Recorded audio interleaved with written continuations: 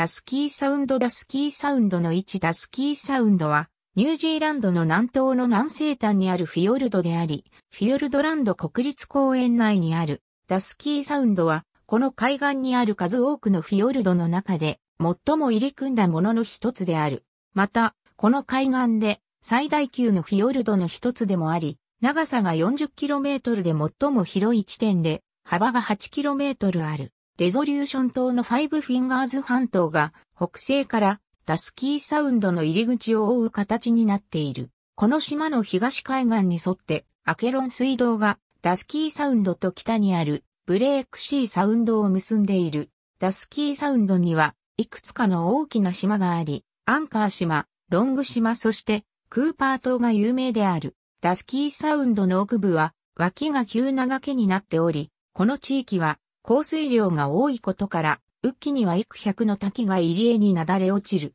アザラシと反動イルカが、しばしばこの入り江の水面に見られ、稀にではあるが、かつてこの海域における捕鯨事業により激減したクジラなども現れ、特にザトウクジラは2010年以降に定着し始めている。この入り江に注ぐ多くの小川の中で、シーホース川が最も大きいヨーロッパ人による歴史以前マオリ族がモア狩りの際に、この入り江の水辺で、時折、野営したと信じられている。ダスキーサウンドがヨーロッパの探検家によって初めて観測されたのは、ジェームズ・クックがニュージーランドへの初公開中の1770年2月13日に、この入り江への開口部を観察した時である。彼は、それをダスキーベイと名付けた。クックは、ニュージーランドへの2回目の探検で、この入江を探検するのに2ヶ月を費やし、そこを港として用いて、作業場と観測所を設けた。